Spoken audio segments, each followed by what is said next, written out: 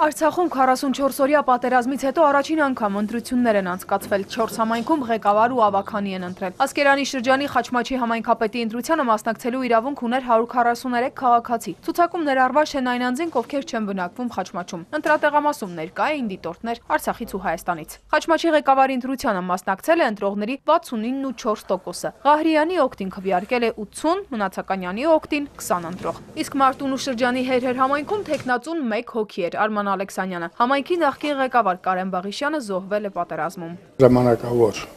պարտականությունները կատարում էր այժմյան տեխնացուն Ալեքսանյան Արման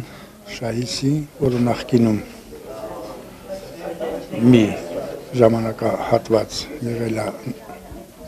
նույն պաշտոնում։ Միակ տեխնացուի օկտին քվեարկել էր 139 դեմ 48 ընտրող։ Անվավեր է ճանաչվել 16 քվեաթերթիկ։ Ասկերանի շրջանի Սաղկաշատ գյուղում ինքն առաջադրվել է համայնքի ղեկավարի երկու ավականու անդամի 5 տեխնացու։ Ընտրական օրենսգրքի համաձայն մինչև 1000 ընտրող ունեցող համայնքներում ավականու 5 անդամ է ընտրվում։ Այս ժամի դուրությամբ քիչ է, բայց